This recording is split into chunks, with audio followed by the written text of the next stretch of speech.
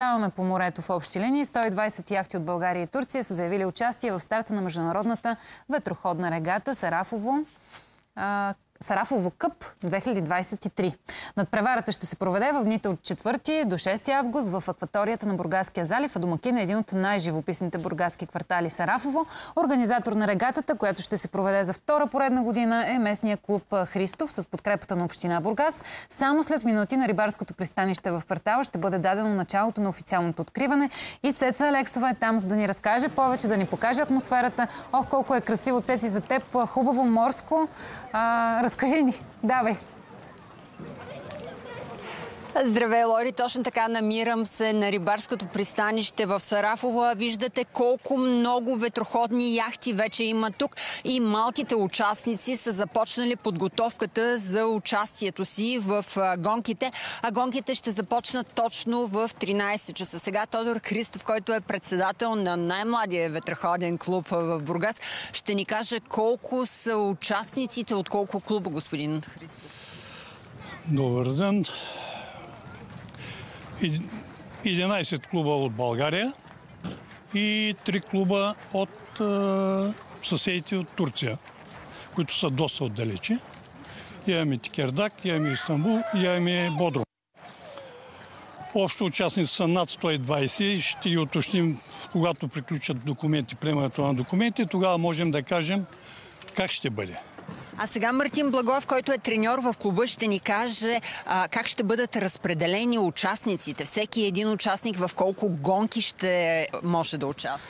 В най-малкия клас в клас Оптимист участници са до 15 години, като там са разделени на момчета и на момичета, младша и старша възраст, като младшата възраст са до 12 години, старшата възраст до 15 години.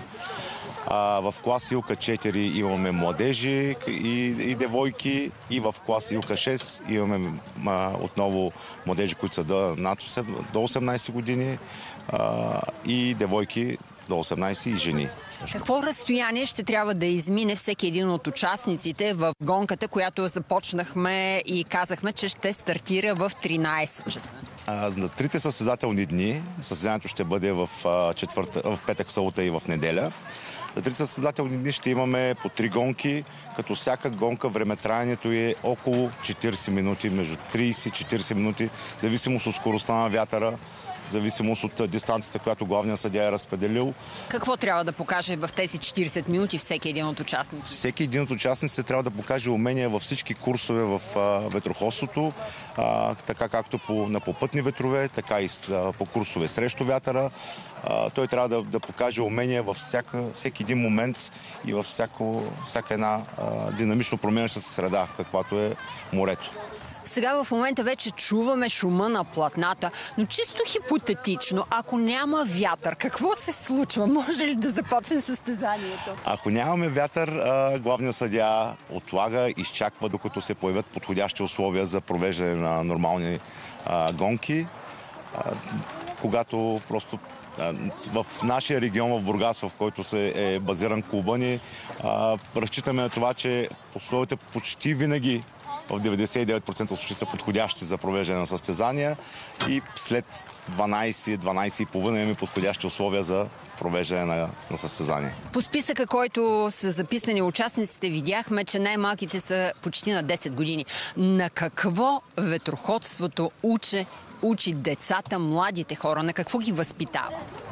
Първо, ги възпитава на самостоятелност, отговорност, уважение към морето те сами трябва да вземат решения, сами трябва да, да предприемат действия в, в морето, така че да, да първо да, да бъде абсолютно безопасно за тях.